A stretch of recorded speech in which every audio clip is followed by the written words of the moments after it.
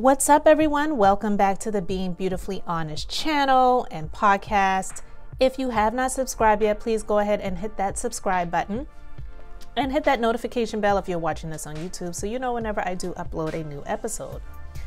So, this story actually comes from Market Watch, and this is regarding a couple who are being charged with billing plastic surgery procedures as medically necessary to insurance companies. And they built insurance companies by billing around $65 million in breast enlargements and nose jobs. All right. so, Linda Morrow, she pleaded guilty to insurance fraud after being extradited from Israel, where she and her husband had gone on the run. Linda Morrow and her husband David Morrow were accused of running from 2007 until 2013. So they were on the run, people. They were on the run. They had the husband, and he's currently serving a 20 year sentence, but she's facing up to 20 years when she is sentenced in July. So the story reads A woman who ran a cosmetic surgery business in Southern California with her husband pleaded guilty Friday to ripping off insurance companies by billing 65 million worth of tummy tucks, breast enlargements, and nose jobs as medically necessary procedures. Linda Morrow, 69, admitted that she and her husband, 77 year old Dr. David Morrow, had falsified medical records and encouraged patients to undergo extra surgeries in order to collect insurance payments for elective procedures that would not normally be covered.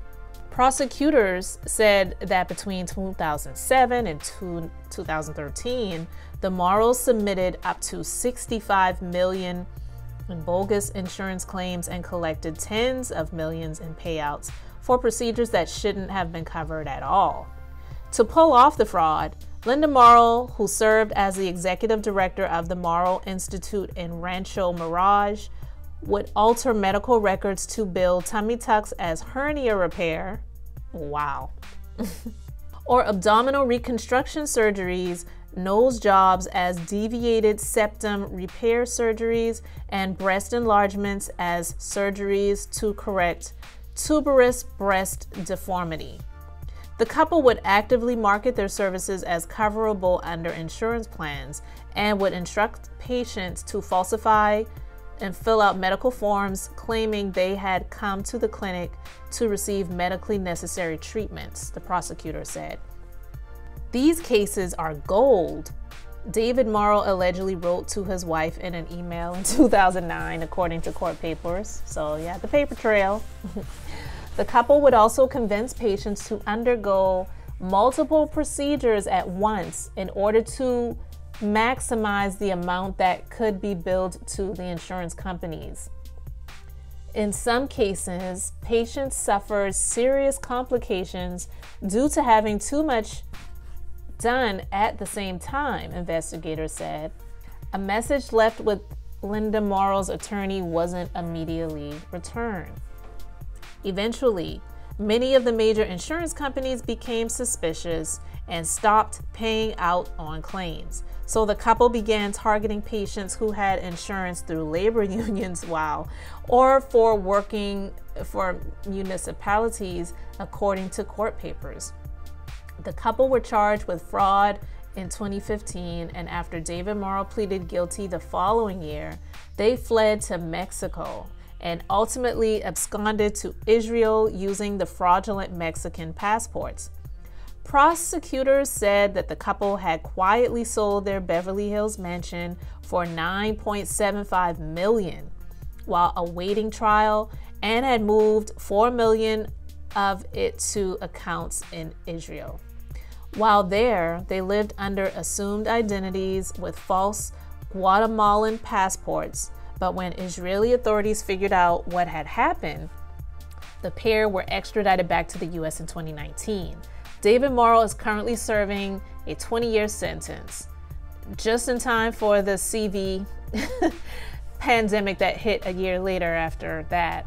And Linda Morrow, who has been in custody since 2019, faces up to 20 years in prison when she is sentenced in July. Now, that is absolutely crazy, but I'll be honest with you, I definitely don't think that they're the only ones that were doing this. Now, do I know of any people who are doing it? No. Do I think anyone has been doing it on as large a scale as they have been? Mm, possibly. Maybe not. But we know California is definitely one of the meccas in the United States for plastic surgery procedures and one of the most expensive. So if you think about it, there's a lot of people that get plastic surgery done in California that really don't have it like that in terms of their financial capabilities. And I do believe that there are plastic surgeons, doctors, people in their offices who have figured out ways to bilk the insurance companies and bill procedures that they're doing as different procedures because they don't have auditors or people, shall we say, that come into these practices to check on things and really see what's going on. I remember many years ago, I worked for a chiropractor for a short period of time. And one of the reasons I worked there for a short period of time was because I learned that some fraudulent things were going on and he was billing Blue Cross Blue Shield for things that he should not have been doing. And I'm like, um, out of here. I don't want to be attached to this place. And I, and I did not stay there. And that business was not in business for much longer after I worked there. And I'm not even really surprised.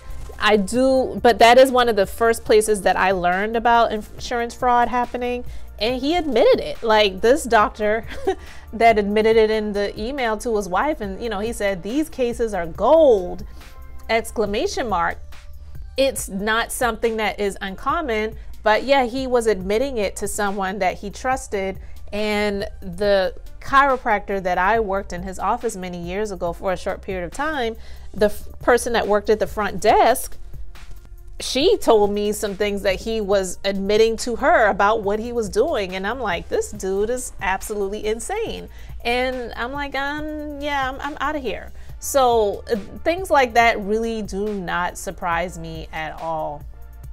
Not at all. But I just wanted to share that story. I really would love to know what you all think about this in the comment section. But I, again, I am not for people committing crimes, but these insurance companies, I've said this before.